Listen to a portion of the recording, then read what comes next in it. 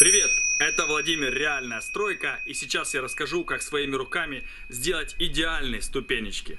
Только два предупреждения. Первое предупреждение. Не повторяйте за мной. Не делайте ступеньки без фундамента. Так заказчикам я никогда не делаю. Я так сделал себе ради эксперимента. Делайте на фундаменте. То ли на фундаменте, который заливался сразу вместе с иным фундаментом дома, то ли на отдельном через демпфер фундаменте, который заливали вы потом, то ли хотя бы столбчатый фундамент. Это обязательно. Поэтому эта методика экспериментальная. Надземная часть ступенек четко сделана и можете повторять. Крылечко. Я снял все доски опалубки вот этой вот отмостки. И сейчас буду здесь заливать ступень. Вот здесь несколько труб под землей лежит, выкопано на большую глубину. Поэтому, как я обычно делаю столбы по углам и на них собираю крылечко, а здесь анкирую стену, смысла делать нет. Так как здесь на большую глубину рыхлый грунт и трубы, несколько штук, и все вот здесь именно. Поэтому я решил сделать ступени, забить арматуру в стену здания, опереть на отмостку, и консоль на 50 сантиметров будет висеть. Я заармирую именно для консольного изделия. Я думаю, что это все будет ништяк и все будет работать. Ну, сломается, значит, сломается. На тот момент буду разбираться. Но я думаю, не сломается. У нас больших морозов нету, чтобы отмостка туда-сюда плясала. Анкировка в стену будет. И 50 сантиметров с хорошим армированием. Я думаю, будут ништяк держаться. Поэтому здесь я засыпаю песком. Вот я обозначил вон и вон ширину ступеней. И по пол пенька они будут торчать. И пенек тоже я оставляю. Он уже простоял год, ничего из него не растет. Ничего он не пускает. И так дерево полумертвое, гнилое внутри. Так он и похоронится под ступеньками. А сейчас я засыпаю песочком. Для того, чтобы отсыпать площадку под крыльцо, я использую, видите, вот этот вот грязный тонкий слой песка по краям кучи, который смешался тут уже отчасти с глиной. Мы его не выбираем ни в раствор, ни в бетон. И просто вот так подчищаем и им делаем подсыпки под отмостку, в частности под крылечко, под все такое. И эта часть песка фактически халявная, так как последние 4-5 сантиметров никто не использует. А даже если туда попадет немножко глины или камушек, или немножко земли, это без разницы. Я его затрамбую, сверху залью кольцо. Он все равно не пучинистый. Так что вот так вот я делаю.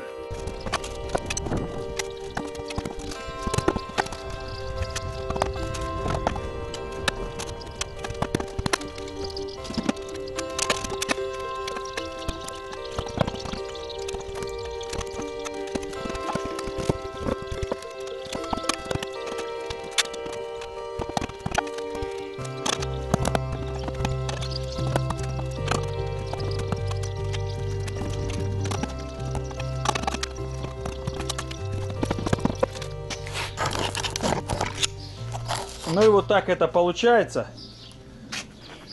Сейчас, когда опалубку поставлю, кстати, трамбуем, 2-3 лопаты похлопали, 2-3 лопаты похлопали. У меня есть виброплита, ну какая виброплита на такой маленькой штуке? Она просто разгонит песок и все. Это закладная, вот она закладная. Там она соединяется, выходит вот эту металл-пластиковую трубу, но это труба где-то здесь заканчивается, одну с другой я соединил и обрежу, когда уже закончу ступеньки. Это закладная под электричество. Ну вот, в принципе, и все. Можно делить на ступеньки и ставить нижнюю ступеньку. Так, после того, как потрамбовал песок, в стену закрутил вот такой брусочек, ну, деревяшку старую, и к ней уже прикрутил доску. Почему палку сделал 150 доски? Чтобы было меньше необходимо кольев. Плюс у меня были уже обрезки, я их даже, вот этот резал, а эти не резал, они такие были по метр шестьдесят. Выставил по уровню, померил диагонали, получилось, что две ступеньки по 17 сантиметров. Здесь над отмосткой 15, а здесь 17, здесь понизу, видите, пустил досточку. Досточка щербатая, так как старая, но я только подпенил, сейчас обрежу. Сделал вертикаль, горизонталь, диагональ. Здесь забил колья примерно каждый метр.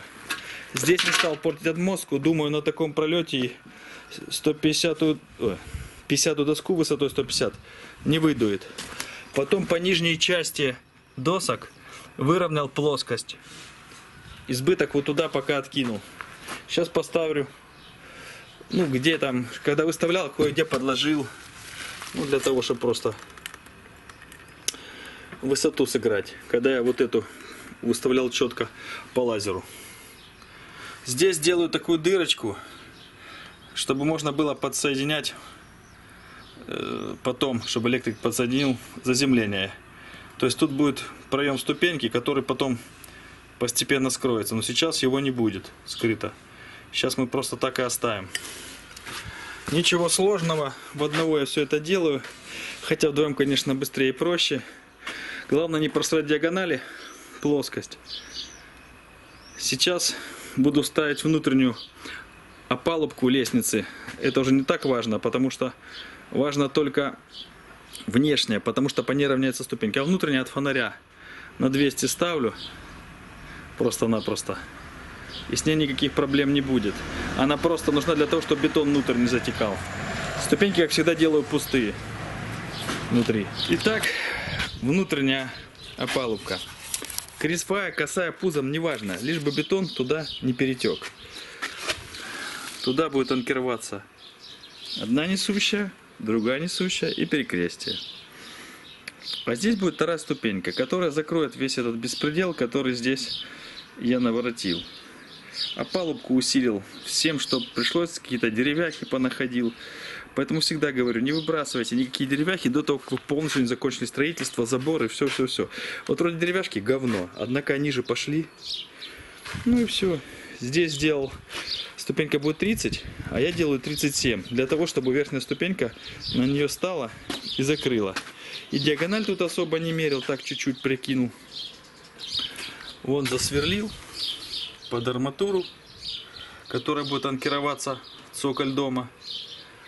Сейчас будет одна ступенька хомуты и 4 12 арматуры. Так и здесь консоль и верхняя и нижняя арматура будет 12.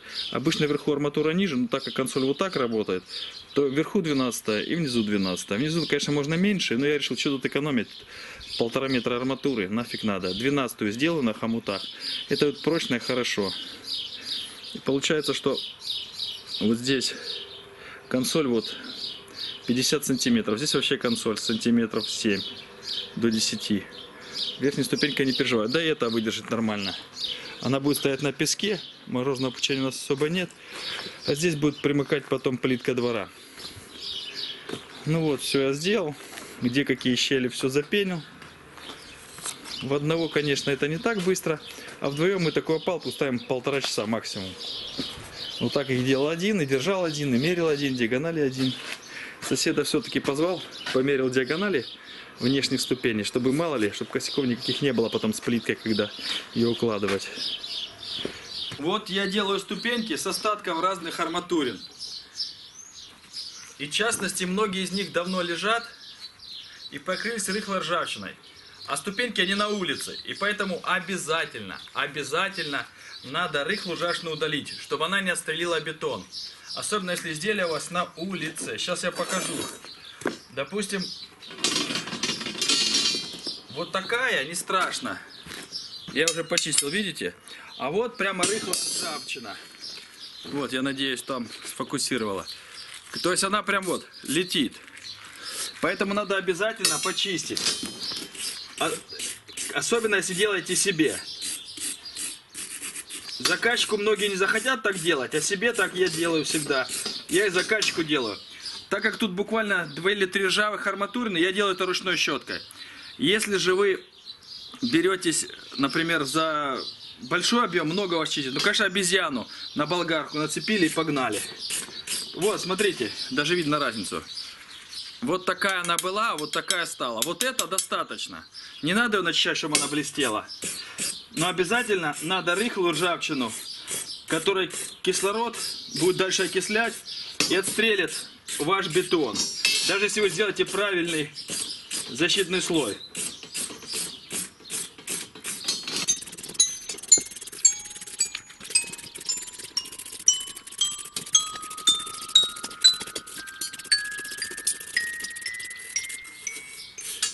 Вот, вот такого достаточно. Это не рыхлая ржавчина. Ее можно в бетон. Гну арматуру. Вот в таком состоянии, несмотря что на улице используется. Так вот, начинаем грудь хомут. Первый маленький гузачок. Если делаете по снипу, надо загибать сильнее. Я делаю не по снипу, это не рабочее армирование, а так, распределяющее. Дальше. Отмечаю необходимое плечо. Если вы гнете много одинаковых хомутов, конечно, на доске надо писать размеры и не мерить рулеткой. Так как мне всего 7 штук надо было, я не стал этим заморачиваться. Еще вот этот загиб для рабочего армирования, а вот этот острый загиб только для хомутов. Он немножко портит арматуру. Этого крайне желательно, если у вас тут будет рабочее армирование. Этот, вот этот плавный загиб для 16 арматуры. Каждая арматура, каждый размер имеет другую вот эту вот надставку. И это все гастируется и нормируется. Ну так вот, теперь большое плечо пошло.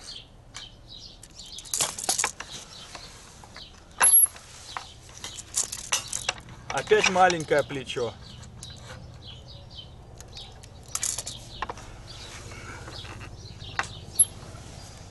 И опять большое плечо.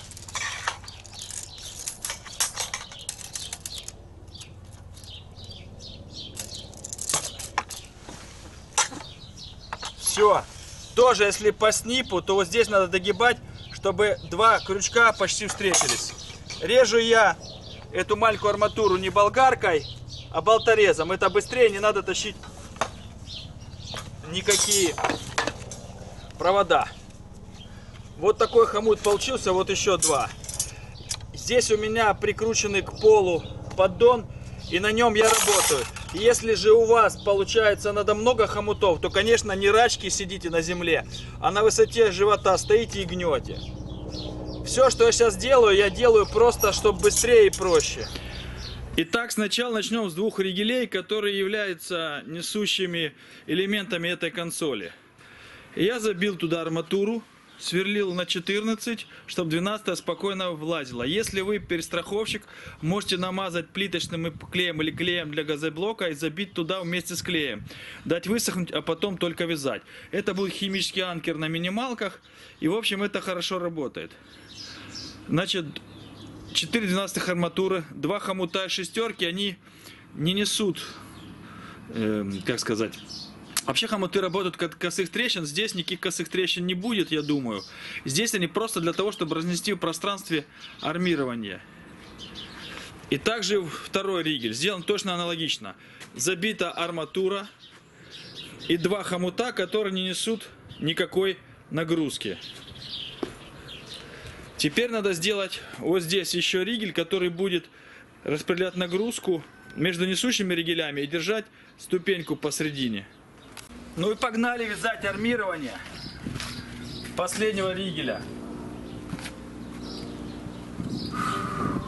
Нижние арматурины поставили, верхние пока не делаем.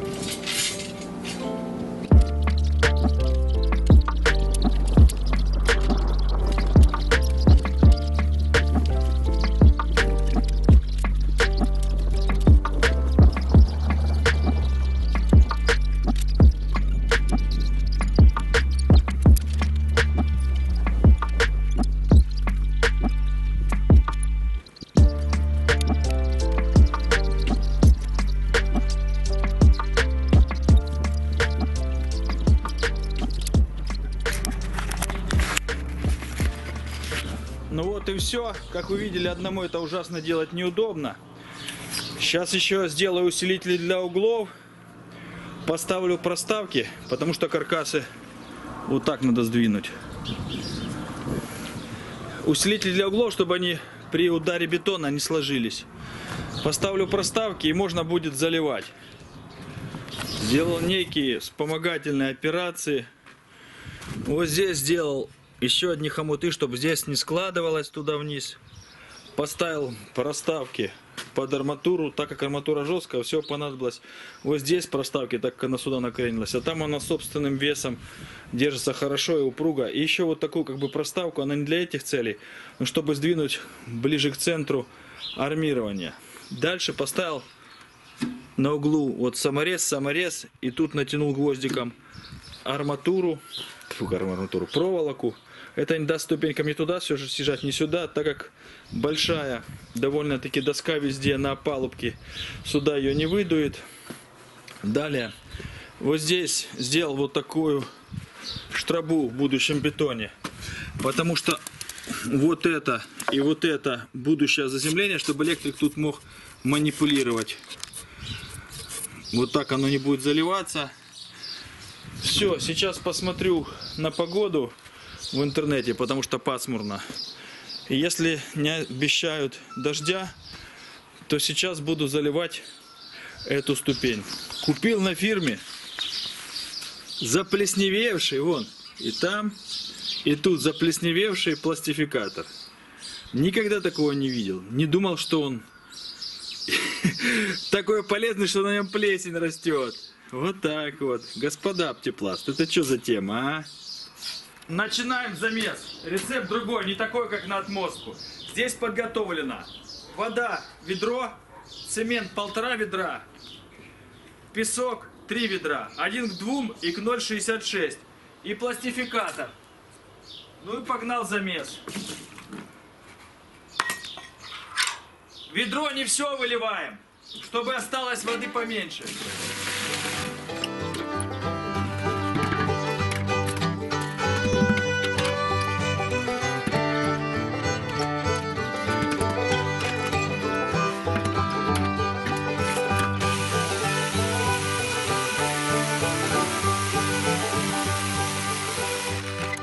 Теперь 5 ведер щебня. Итого соотношения полтора цемента, 3 песка, 5 щебня. И воды меньше ведра. Потому что сейчас влажность большая, дожди были.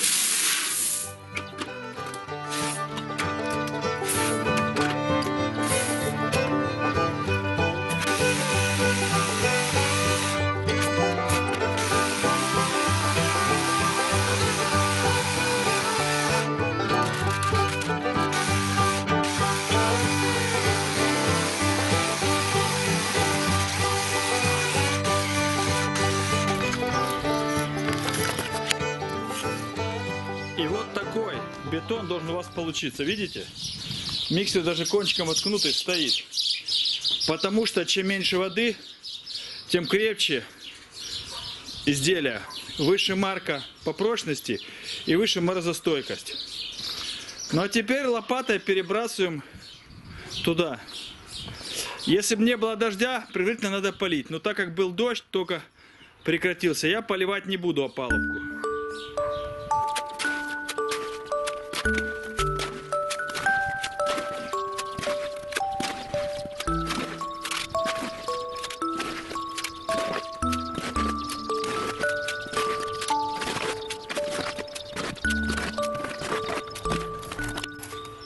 И накидал, буду вибрировать.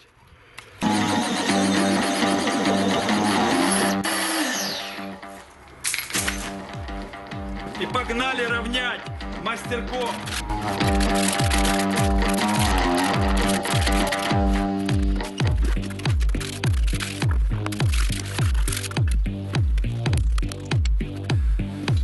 Вот так поравняли, а теперь гладилкой.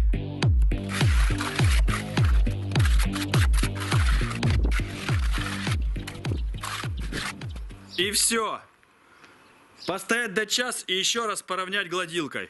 Ступеньки закончены. Вечером обещают дождь. Как раз в тему. Завтра буду делать верхнюю ступеньку плиту. А для этого сейчас здесь буду ставить опалубку.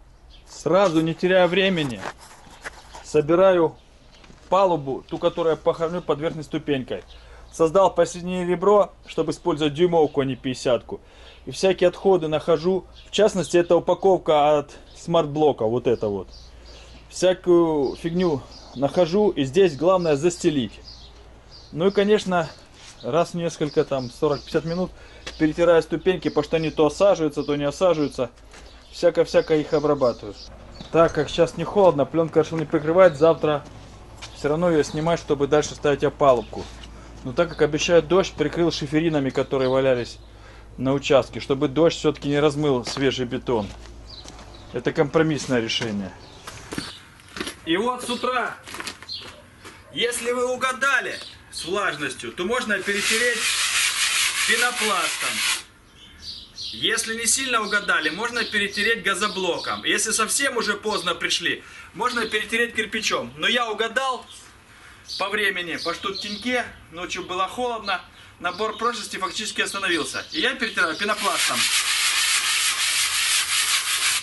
Вынул вот эти все стяжки проволочные. И теперь все затираю, поверхность.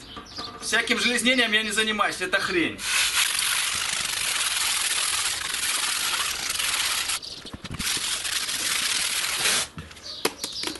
После того, как перетерли, смести надо обратку.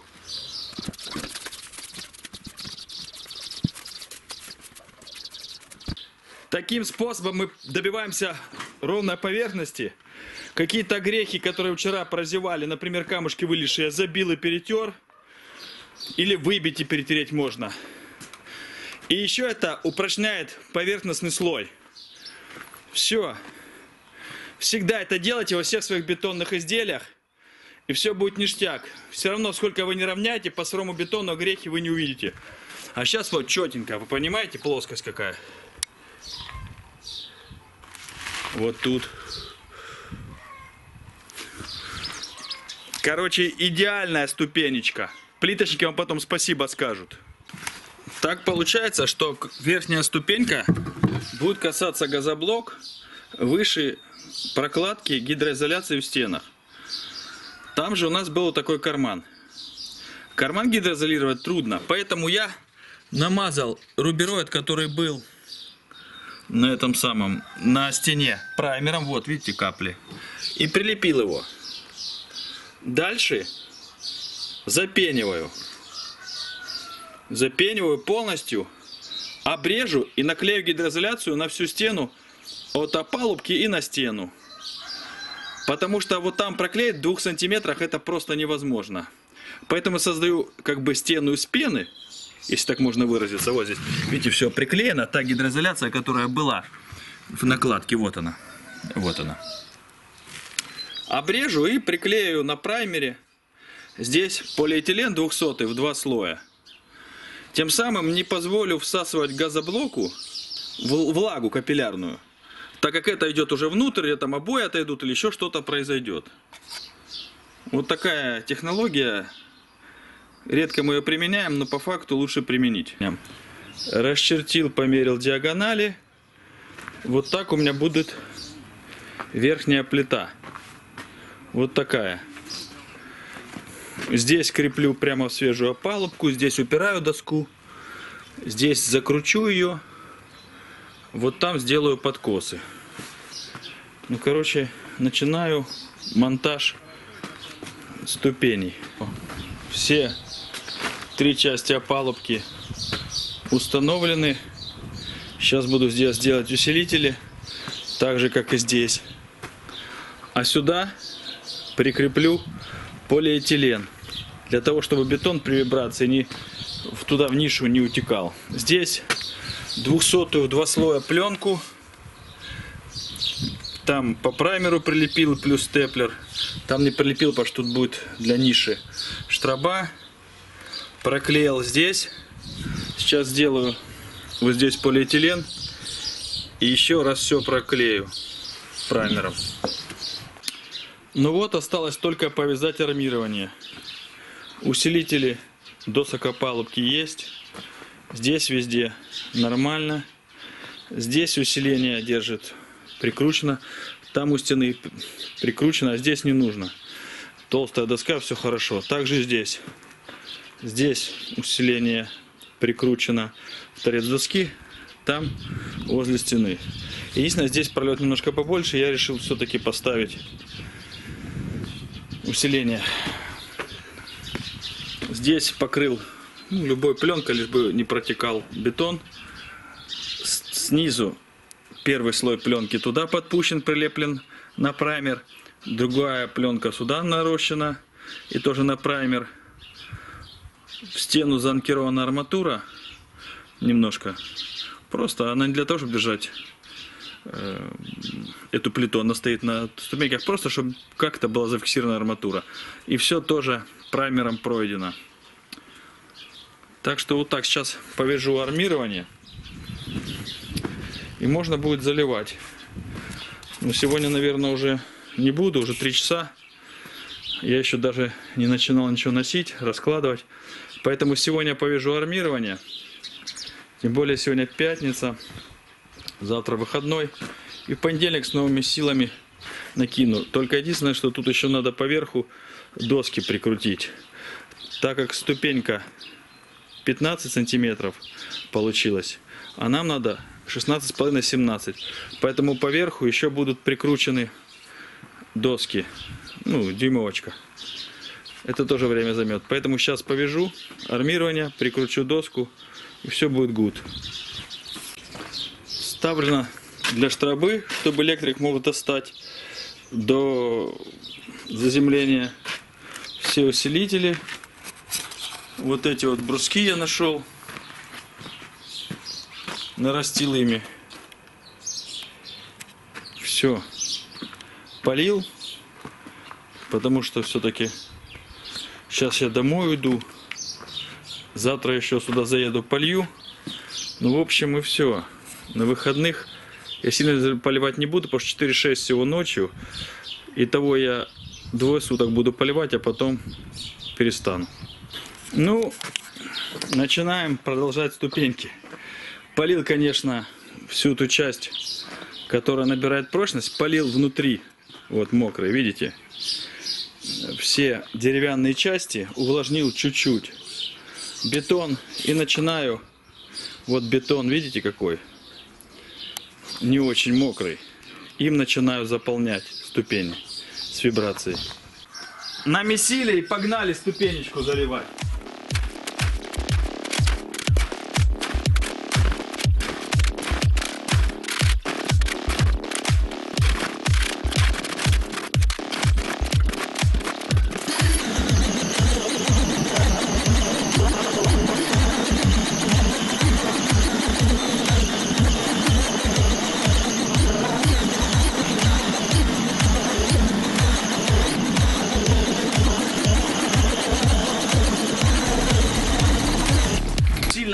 Зараза, все обляпывает в округе, но зато вибрирует четко.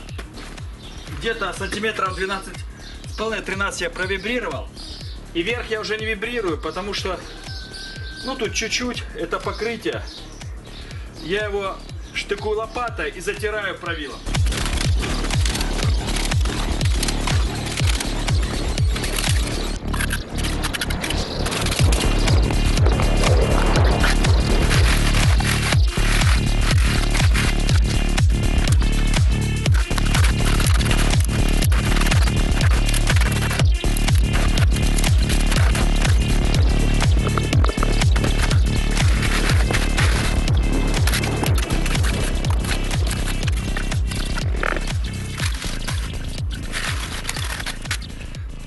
Не хватило пол ведра раствора бетона. Сейчас буду замешивать чуть-чуть. И закончу здесь полностью ступени. Здесь все почищу, чтобы оно здесь ляпки раствора не портили. Также заляпало чуть-чуть окна. Почему не заклеил? Бессмысленно. Легче тряпочкой сейчас влажно протереть и все. И последняя ступенька, вторая, готова. Только-только загладил поверхность. Даже не успел гладилкой пройтись. Пошел дождь, вот. Сейчас, слышите, плямкает. Вот. Инструмент сейчас помою и поеду. Единственное, что у меня тут остался раствор. До завтра полежит. Завтра его выкину, да и все. Сейчас неохота по им заниматься. Тут бы хоть инструмент помыть без промыкания. Сегодня. Итак, я сегодня приехал. Но так как уже жарко, больше 20 градусов тепла, чуть ли не 30 на солнце, все уже застыло. Перетереть пенопластом не получилось. Перетирал кирпичом, увлажнял и перетирал. В общем, так все вывел. Но вот здесь, видите, вот, лужицы. Эта пленка в свежий бетон утонула, где-то миллиметра по 4 сделала туда выемки. Это уже буду потом замазывать, когда буду плитку ложить. Так что сейчас все перечухал кирпичом, полил, прикрою пленкой и оставлю набирать прочность. Снял опалубку со ступеней. Ну разве они не безупречны? Увидели такую геометрию? Все-таки за 30 лет работы с бетоном я научился работать с бетоном. Это безупречные ступеньки, мечта любого штукатура, в смысле плиточника. Он будет благодарить меня. Ну, наверное, этим плиточком буду я. И вот смотрите, как это все выглядит. Опалубку снял, полил. Здесь я подсыпал для того, чтобы не высыпался оттуда песок, не вымывался дождями. Двор-то будет выше. И пока я присыпал, вот у меня была земля, и я присыпал. Потом отгребу, не отгребу, как-то протрамбую, уберу, не знаю, что будет потом. Но в данный момент надо обеспечить то, чтобы не вываливались сюда песчаная моя посыпка не вывалилась. Кроме вот этого места, где закладная под электрику. Ну, тут поливал свои вот эти замазки. И весь день поливал вот эту вот стеночку. Она набирает прочность или после, или до, или вместо, или я у вас буду спрашивать, что делать с этой стеночкой далее. У меня есть одна из идей, это зашпаклевать. Так как блок примерно ровный, зашпаклевать. Чтобы посмотреть, можно ли обойтись шпаклевкой при этой плоскости. Тут перепады, конечно, есть, я не совсем идеально выставил. Ну, миллиметровые какие-то перепады. Ну, посмотрим. Вот такие ступенечки получились. Я ими очень доволен. Их красота в их безупречной геометрии. И я против мудрежа со всякими сложными формами крылечек и ступеней. Я уверен, что это видео окажется вам полезным и повторяя досконально все эти этапы, вы сможете залить свои ступенечки. Чем больше ступенчик, чем больше раз вы переставляете опалубку. Поэтому прошу поставить лайк. К тем, кто не подписан, подпишитесь на канал. У меня еще куча интересных и полезных видео для самостройщиков. А тех, кто уже давно является моим подписчиком, не забудьте класснуть колокольчик, чтобы не пропускать новые видео, которые регулярно выкладываю каждую неделю. Но в комментариях напишите ваши соображения. Нравится ли вам так же, как и мне, лаконичные четкие, простые ступенечки, или вам нравятся многоярусные, сложные, волнистые, многоугловые входные группы. Здесь вокруг меня всплывут видео о крылечках только сложных дизайнерских всяких там 3D, которые повторить вам будет трудно, но посмотреть будет интересно. С вами, как всегда, был Владимир. И напомню, делай хорошо, плохо, оно само получится. И если ты выставил опалубку четко, то после распалубки тебя ждет прекрасный результат.